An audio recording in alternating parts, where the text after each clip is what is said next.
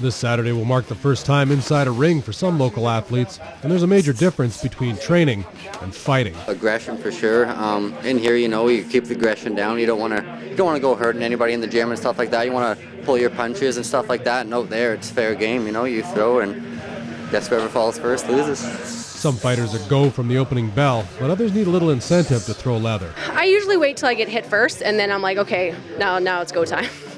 It's just that mentality when you get in the ring with somebody else, you know, and he's gonna be hitting you, so you got to put your hands up and you hit him back, and that switch just gets turned on, and it's just a whole different you. Not knowing a lot about their upcoming opponents, the fighters train hard and try to be ready for anything. All I know about the other guys are about the same height, and they might have a little bit of a reach advantage, but other than that, I'll just do what Garrett tells me, follow the training, follow the technique, come up with the win. Get in and get out. Um, this girl has 40 pounds on me, so um, I got a whole new strategy I have to build.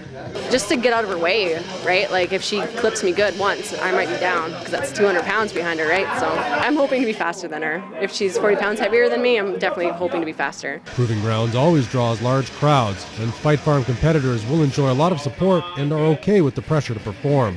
I'm really excited. I know lots of people coming, so I know they'll be cheering for me.